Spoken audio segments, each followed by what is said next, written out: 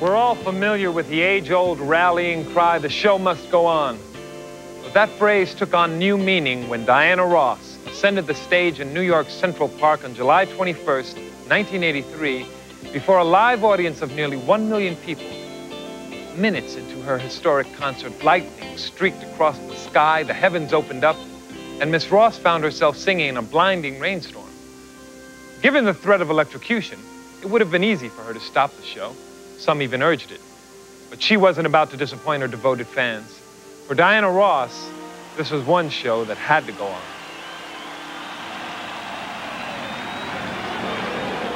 If you need me, just call my name. I'll be there in a hurry. On that you can depend and never worry.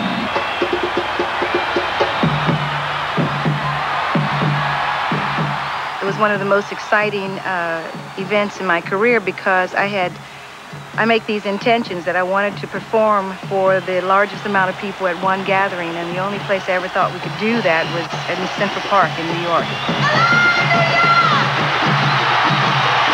When I got there in the afternoon, it didn't seem as if it was going to rain. And within the first three songs, the sky went totally black, and we were caught in this amazing rainstorm. Going to get wet. That's okay. I'm here. Feels good, actually. When the skies did open up, we went from being a concert in Central Park to an international news event. It was just a phenomenal experience. I think Diana, you know, went to a whole new level of not only human being but performer, where she just rose to the occasion. Reach out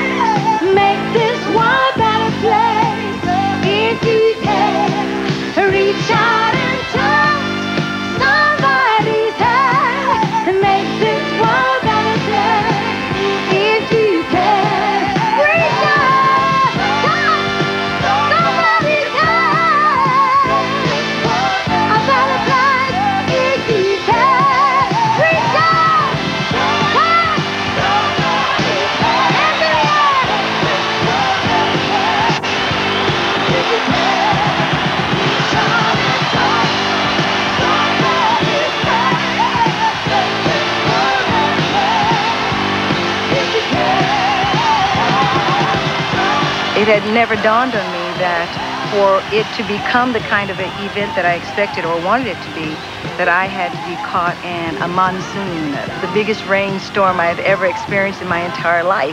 I need your energy now, ladies and gentlemen. I need you to. There are a lot of children in the audience. I thought this was going to be a little love shower, but it looks like.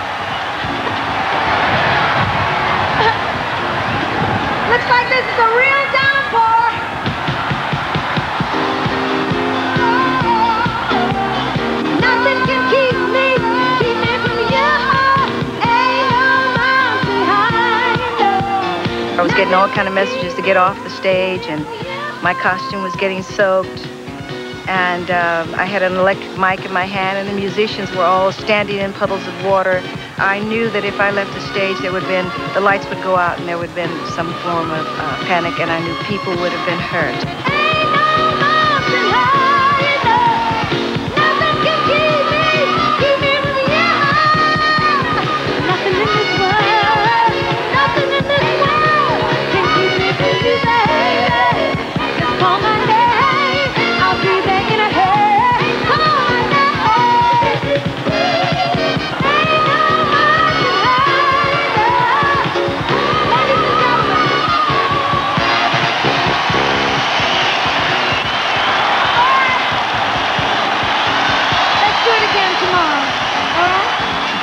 Come back the next day and do it again for them, and she did. And everybody came back. I think we had a larger audience the next day.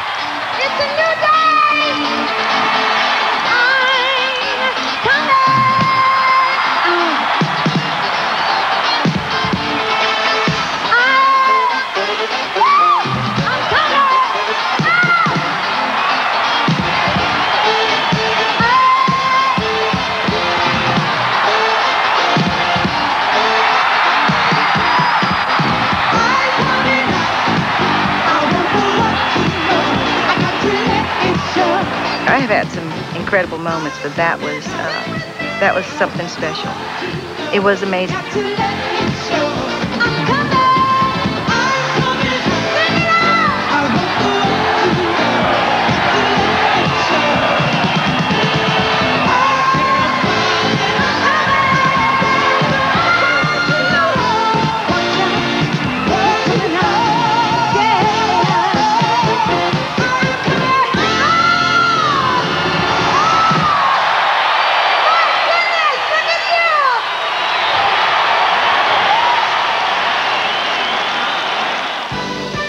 Television's greatest performances will be right back.